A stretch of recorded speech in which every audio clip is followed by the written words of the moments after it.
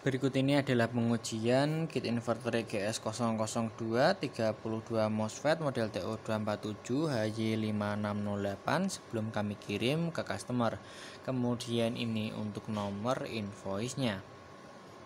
Ya langsung aja kita uji di sini untuk langkah pertama saya akan menyalakan inverternya terlebih dahulu.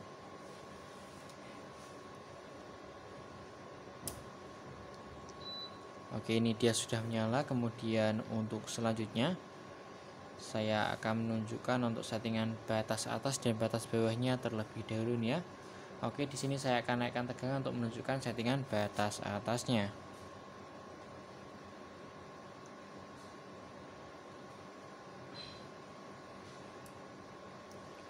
Oke, untuk settingan batas atas di posisi 60,4 volt ini dia posisi mati. Kemudian saya akan menunjukkan untuk settingan batas bawahnya, saya turunkan tegangan.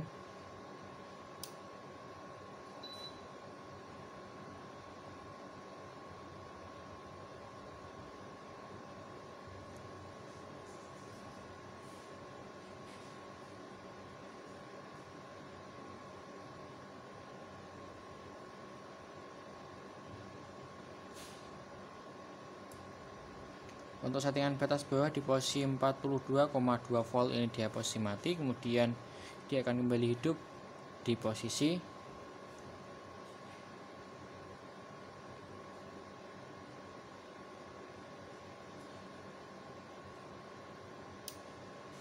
Oke ini dia kembali hidup di posisi 48,2 volt. Kemudian untuk selanjutnya saya akan lakukan uji beban menggunakan beban pemanas kemudian saya tambah menggunakan beban kompor elektrik kemudian saya tambah menggunakan beban penyedot debu dan 4 buah beban blower.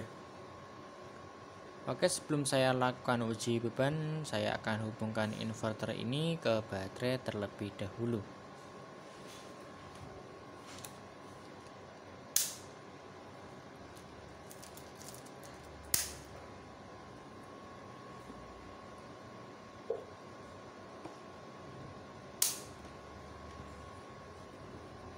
Oke, inverter sudah terhubung ke baterai, langsung aja kita bebani.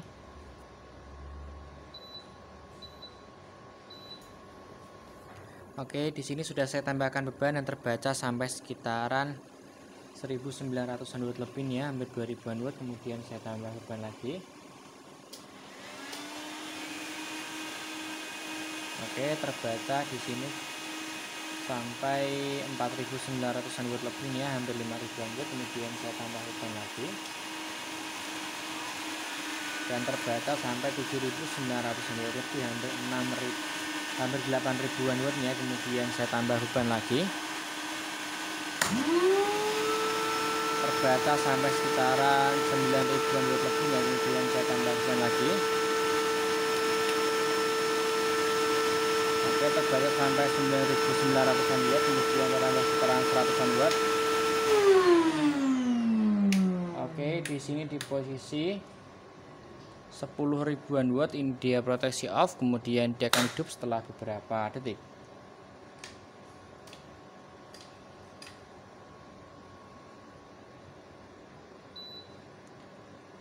Oke ini dia sudah kembali hidup kemudian saya akan uji untuk kontrol fan-nya